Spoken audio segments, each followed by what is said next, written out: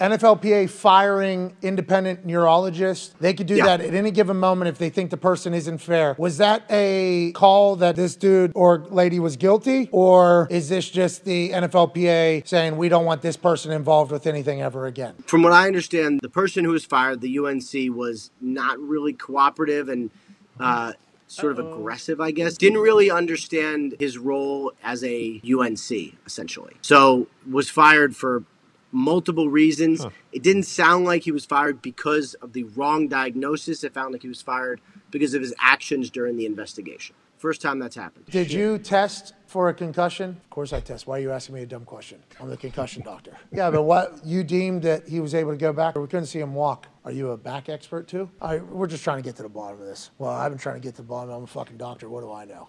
The fuck out of here.